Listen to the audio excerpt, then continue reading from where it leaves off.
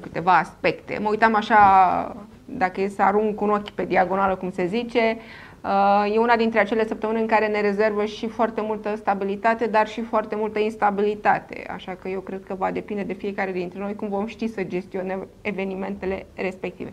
Păi zic să începem să nu mai stăm. Bun, încă de mâine, iată, astrele uh, ne pregătesc ceva, și anume faptul că Venus intră în semnul Capricornului. Știm, Venus reprezintă toată zona de feminitate, de frumusețe, de plăcere, de ceea ce iubim noi cu adevărat. Da? Ei bine, se duce în semnul Capricornului. Aici avem de-a face, iată, cu o energie mai austeră, mai serioasă, mai pragmatică. Să nu uităm că arhetipul Capricornului, iată, în timp și spațiu, este cel dintre săgetător și vărsător, adică mijlocul iernii, dacă țineți minte, da? Revelionul. Da? Teoretic, mijlocul iernii ce înseamnă? Foarte mult fric, totul gri în jurul nostru, nu ne mai vedem atât de mult cu oamenii dragi, stăm mai mult în casă, da, și suntem așa mai triști, să zicem. Pe vremuri, când era iarna-iarnă, că acum nu mai e întotdeauna ca pe vremuri, da? Dar teoretic ăsta este arhetipul Capricornului. Gândiți-vă la un munte. Ori când Venus intră în acest semn, iată, vom deveni foarte pragmatici în ale amorului, să știți, dar și în zona financiară.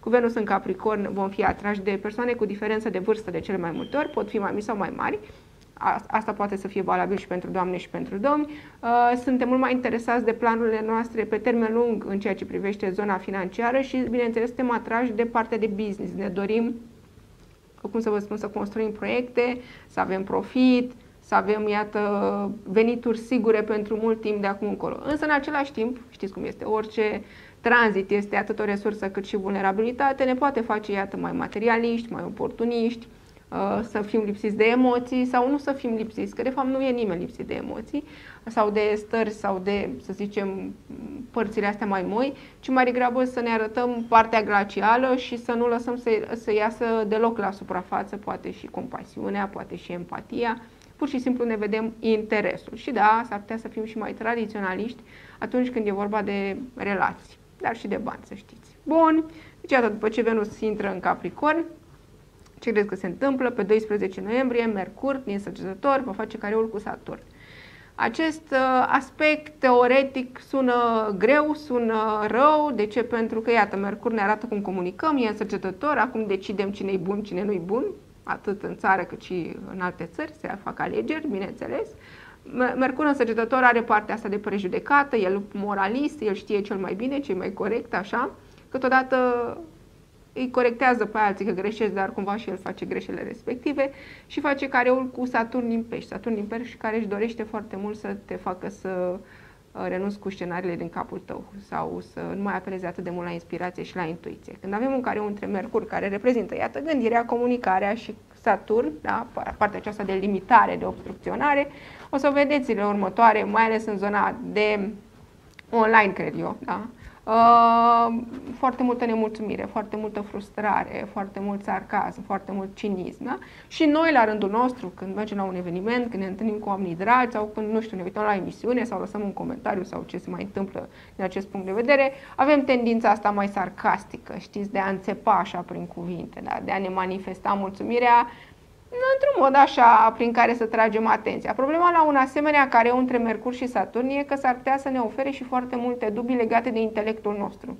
Să ne considerăm mai pe românește proști în anumite situații, dar atenție să nu cumva să ne considerăm noi, nu să ne facă sau să ne facă ceilalți să credem că suntem. Pur și simplu noi nu avem încredere în noi, noi ne lovim de unele limite și când ne lovim de limitele respective încercăm să le ascundem gândindu-mă că la, gândindu-ne că las, că poate nu-și dă nimeni seama, dar de fapt limitele acelea apar tocmai ca să învățăm să le depășim. Cu Mercur în care cu Saturn e o tendință din asta, cum îmi place mie să zic, către limba soacră, știți, în teorie, în, în cultura românească, știți, limba soacră, cum e tot timpul uh, foarte cicălitoare, foarte nemulțumită, foarte critică, știți că sunt tot felul de sketch-uri din acelea de erau, când eram eu mică și în arhiva TVR-ului, cred că sunt foarte multe personaje din acelea care vorbeau tot timpul, vorbeau tot timpul și cicăleau oamenii dragi. Deci aveți grijă la acest careu și plus că gândiți-vă la ceva. Mercur, Mercur uh, va și retrograda în săgetător, deci mm, mm, uh, dacă planificați călătorii s-ar putea să aveți probleme, dacă semnați acte acum s-ar putea să aveți probleme și chiar când plecați la drum să apară tot felul de blocaje și întârzieri. Pe urmă, dragii mei, pe 15 noiembrie, iată această zi. În primul și în primul rând, ce avem? Avem o lună plină în taur. Da? Problema este că e o lună plină lângă Uranus. O lună plină, teoretic, de când studiez eu astrologia, mi-am dat seama că aduce anumite evenimente. Da? Mai ales în hărțile celor afectați de momentul respectiv. De data aceasta vorbim de cei însemne fixe. Vorbim de taur, leu, scorpion și vărsător. Am nu vă gândiți că vine apocalipsa sau un portal de energie, cum mai citesc eu pe aici de acolo. Știți că îmi place să fac mișto de asta cu portalul. Că Dă bine de rău din 2008 încoace de când studiez domeniul ăsta, de, na, nu mi-am demonstrat niciun portal și credeți-mă, l-am căutat serios, cu lupa, cu, ca detectivul. De câte ori citeam că vine un portal, că se deschide un portal. Deci l-am căutat, știți cum am stat după el? Nu stau șoricii aia, gata, gata să primească acolo o firmitură. Bun. Deci, avem o lună plină. Știm, și în filme, multe filme, o să vedeți când se întâmplă ceva important, iată în scenariu, e o lună plină undeva. Și în melodii, și în cărți, și în poezii. De câte ori e o lună plină, cumva oamenii și-au dat seama cum am realizat și eu, că, domnule, sunt anumite evenimente. Dar de data aceasta, dacă vă știți, iată, cu taur, leu, scorpion, vărsător, s-ar putea ca prin jurul vostru să apară o schimbare, să se producă o rupere, să apară o surpriză. De obicei, orice eveniment care se întâmplă lângă Uranus din punctul de vedere al statisticii astrologice, vine așa cu un pic de instabil, vine cu un pic de uragan, da? Și pentru că luna plină se petrece în taur, să știți că aici ne vom da seama de unele greșeli pe plan financiar. Și în primul rând vorbim de cele, iată, la nivel național, mondial și așa mai departe. Pentru că taurul este cu resursele și este cu natura. S-ar putea să avem de-a face de tot felul de evenimente și din acest punct de vedere.